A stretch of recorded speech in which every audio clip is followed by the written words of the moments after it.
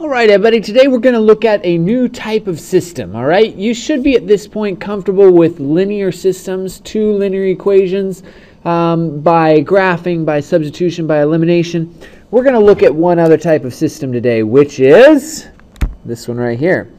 Now, how is this different from what you've seen before? Well, hopefully you recognize that, yep, there's a linear right here. We know it's linear because there's just an x and a y, no squareds, no exponents, strange exponents, nothing like that. So this is just going to be a linear right here. But the first equation right here, what kind of equation is that? You're right, it's a quadratic. So what we've got here is a quadratic system. All right, so we've got a linear and a quadratic together.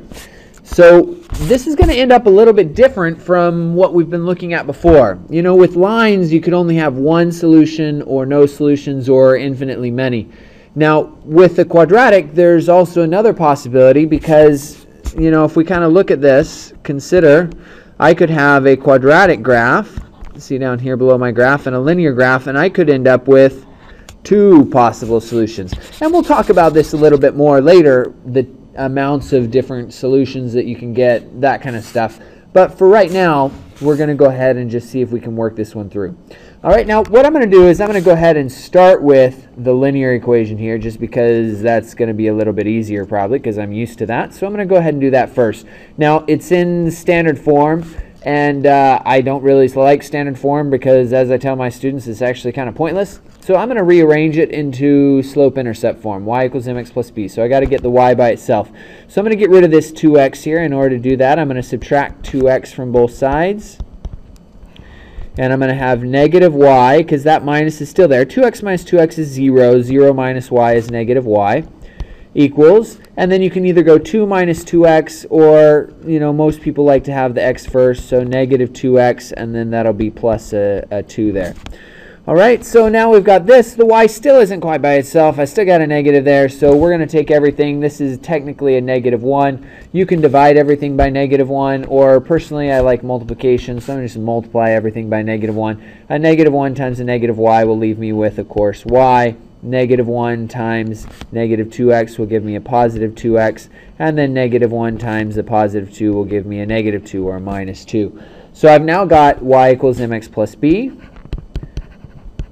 Remember, the first thing that we do is we have to have a point. We have to have a starting place. Without a starting place, the slope is unimportant. You cannot just start on the origin because that's what you feel like doing. You have to have a starting place. So we're going to start at b, which is the y-intercept, which is negative 2.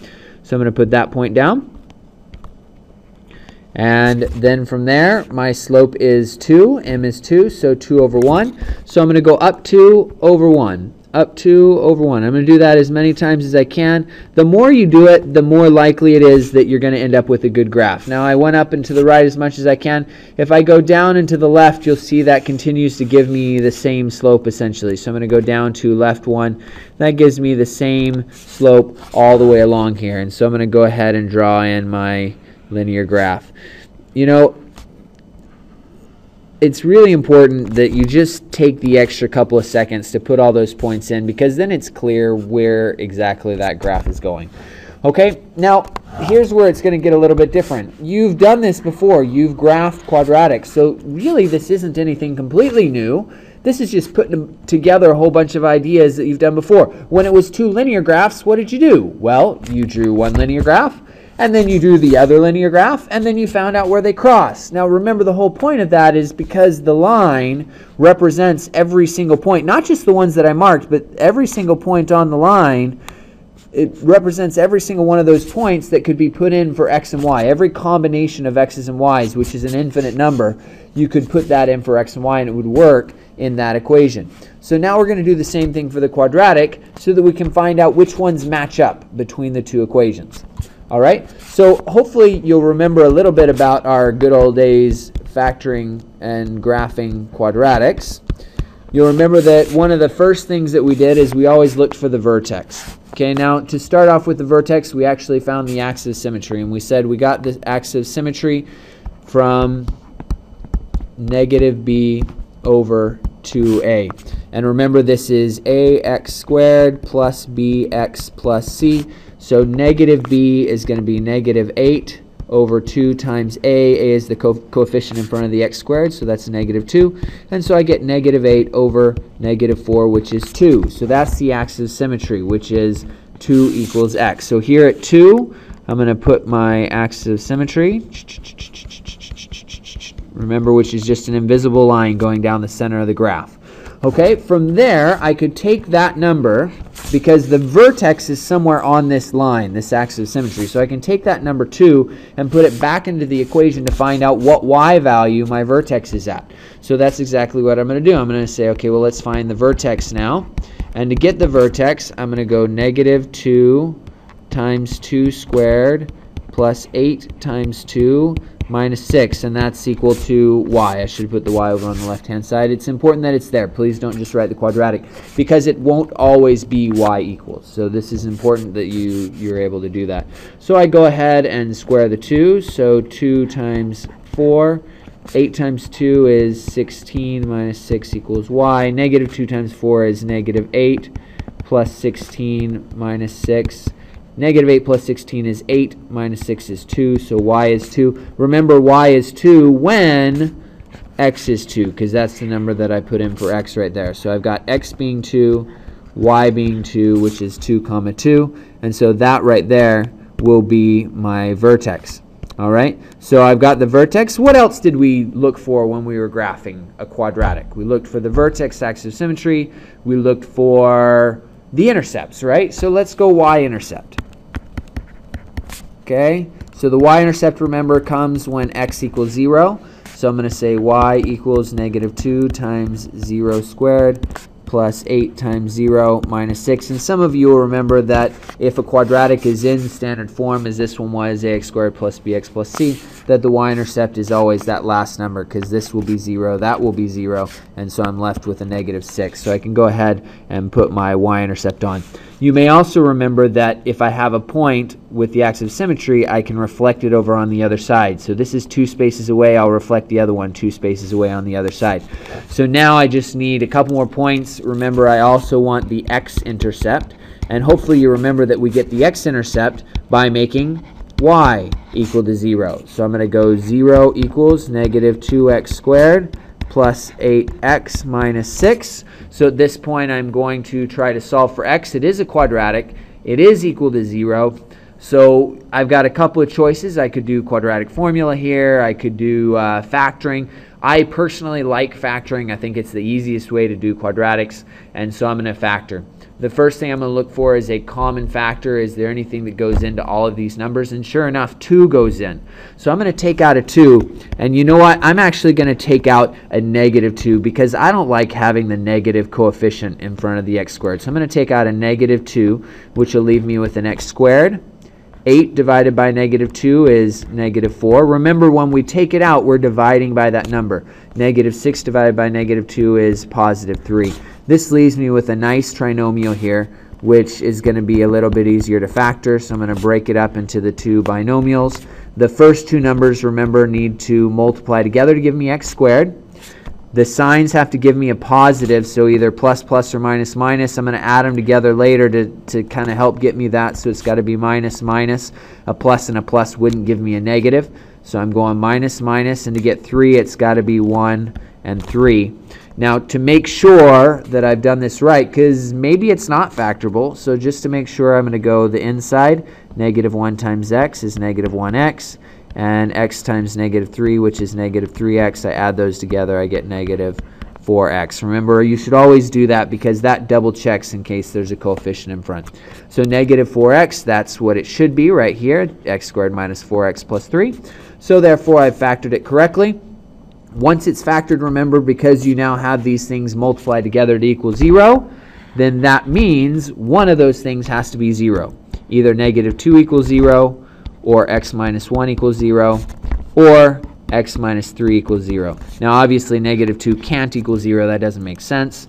Here I add 1, so I got x equals 1, and here I add 3, meaning that x is 3. Now like I say, most of this should be review. I'm going to put these down as my x-intercepts then, so x equals 1, x equals 3. I can go ahead and draw my graph in now, something like this and something like that. And you can already see the two points where it crosses. We've got one right here and we've got one right here. So there are actually two solutions here. One of them, which is 1 comma 0, that's this one right here. And then I've also got this one, which happened to be the vertex in this case, so 2 comma 2, just like that. So I've managed to find that by uh, graphing. All right. Of course, in order to check this, we should try both of those points in both of those equations. I'm not going to take the time to do that here because I think that's a fairly easy process and you've done that hundreds of times before. So in, in the interest of time and to not bore you out of your brain, I'm not going to go ahead and do that. But you can try it. You put in 1 for x, 0 for y, do it in both equations and make sure that that actually works in both of them. That's the point. That's what we're trying to accomplish. The 2 comma 2, also you should be able to put in for x and y in both equations and again it should work. All right, so what I'm going to do now is I'm going to call a timeout. I'm going to pause the video because I want to show you how to do this uh, using another method, something other than uh, graphing. Because, yeah, graphing's nice. It's very visual. We can see the intersections there. But, you know, sometimes we just really don't like to graph. So hold on just a second. Timeout. Boop. It's all gone just like magic. But I did leave the graph here so that we could see the solutions there and so we can check our work a little bit later. I want to show you that this actually works. All right, so now substitution. The, again, this is nothing new. You've done this before. So I just want to show you how we can apply that idea that we already had. All right, so what we've got here is we've got our quadratic and linear. What was your first step in substitution? Do you remember when you had two linear equations, if you wanted to substitute, what did you do first? Hopefully you remember that you had to get one of those letters all by itself, right? The x or the y in either equation, didn't matter which equation, didn't matter which letter, the letter has to be isolated all by itself so that you can say this letter is the same thing as this stuff over here so you can substitute. Now, if you look at this very carefully, you'll note that y is already by itself. y is the same thing as negative 2x squared plus 8x minus 6. Those are equal. That means anywhere you see a y, you can replace it with this. Now, if you don't like that, you can always solve for y in the other one and put it in later in the other equation. But y is already by itself. Why do any more work? So what I'm going to do is I'm going to take this other equation, 2x minus y equals 2, and I'm going to write it exactly the way it is, but instead of y, I'm going to write negative 2x squared plus 8x minus 6. So there's a 2x, so I'm going to write the 2x, and then there's a minus, and then there's the y. Now remember I'm substituting so it should go in parentheses. Instead of y, I'm replacing it with this because this is the same thing as y. Negative 2x squared plus 8x minus 6. So that was the y equals 2. So there's no magic here. I've written it exactly the same way that it was. There's your 2x, there's your minus. y is this, because y and that are the same thing, equals 2, just like it is there. Exact same equation, we just made a substitution because of two things that were equal. Now we just have to solve, right? So the first thing I got to get rid of are the parentheses, so I'm going to distribute this minus to everything over here. So I'm going to have 2x, negative times negative is positive, so plus 2x squared. Negative times 8x will be minus 8x negative times 6 would be plus 6 equals 2. Combine some like terms there. I've got 2x squared, 2x and negative 8x will give me minus 6x plus 6 equals 2. Now remember, when you're solving a quadratic, if you're going to factor, if you're going to use the quadratic formula, if you're going to do any of those things, you need it to be equal to 0. Because of the x squared and the x both being there, then you've got to do one of those two. You've got to either factor it or use quadratic formula. You can't just isolate the x. It becomes too difficult because of the x unless you learn a different process called completing the square, in which case you can do it. But we're not quite, we don't have the time to, to really do that this year. So I need this equal to 0. So to make it equal to 0, I'm going to subtract 2 on each side, and I'm left with 2x squared minus 6x plus 4 equals 0. So from here, I'm going to solve it. Last time I factored, this time, ah, uh, what the heck. Why don't we do uh, quadratic formula? So ax squared plus bx plus c equals 0. a is 2, b is negative 6, c is 4.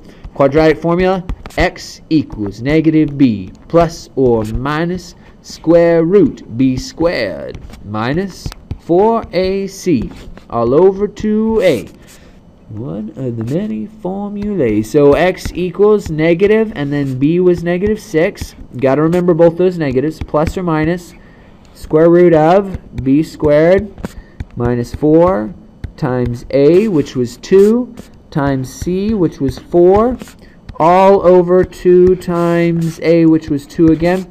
So I work that out. Negative negative 6 will be positive 6, plus or minus the square root of negative 6 squared is 36, because negative 6 times negative 6 is a, a positive.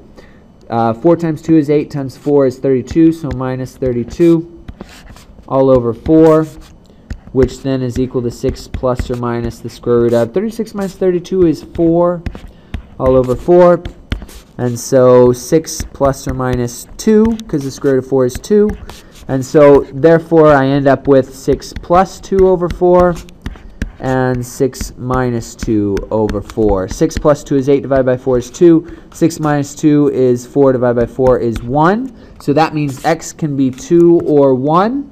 Now I need to get the y value. Remember, this was all that first step of substitution. It's going to be a little bit longer because you've got to solve now. This, my friends, is why I like factoring because I could have factored that in less time the quadratic formula, but I just wanted to make sure that you knew how to get the, the, the quadratic formula. So these are for x. We've got x by itself now, right? We now know that x can be 2. If x is 2, remember once you got one variable, you just put it back into one of the other equations. It doesn't matter which one. You can put into whichever one you want. If you want the top one, top one's the quadratic, but it's already solved for y. Bottom one's a little easier to work with, but then you got to do some rearrange. It's totally up to you. I'm just going to put it in the top one because I'm not scared of quadratics. So I'm going to put 2 in for x. So 2 squared plus 8 times 2 minus 6.